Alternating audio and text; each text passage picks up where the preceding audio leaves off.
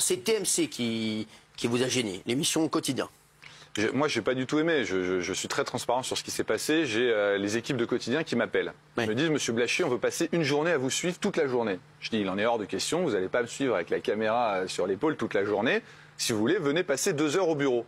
Je dis à la journaliste, je lui dis, euh, mais vous, je vous préviens, c'est un bureau d'épidémiologie, donc vous allez voir des gens derrière les ordinateurs. Pas de problème, Monsieur Blachier, on vient. Je dis, en plus, j'ai une réunion, donc pendant une heure, vous allez tourner dans les bureaux, mais moi, je serai pas disponible. Très bien, très bien, on vient, on vient, on vient. Ils forcent la main, ils viennent. J'ouvre la porte. Il y a le caméraman qui me filme et la journaliste qui rentre et qui dit mais où sont les malades? Où sont les malades? Je vois aucun malade. Donc il filme ça. Donc je dis bon bah super, merci, c'était très bien. Donc je discute un petit peu, je leur explique ce qu'on fait. Ils ont évidemment rien gardé. Je leur dis je dois faire euh, mon call maintenant, donc je vais m'isoler une heure. Vous faites comme chez vous. euh, Je suis très sympa quoi. Et donc ils vont voir chacun de mes salariés. Et ils disent, est-ce que euh, vous pouvez nous dire euh, des choses, euh, du mal en gros de votre chef? Donc euh, est-ce qu'il est là tous les jours Euh, Est-ce qu'il ne- il fait exprès d'aller sur les plateaux Heureusement qu'ils n'ont pas fait la même chose avec moi. hein.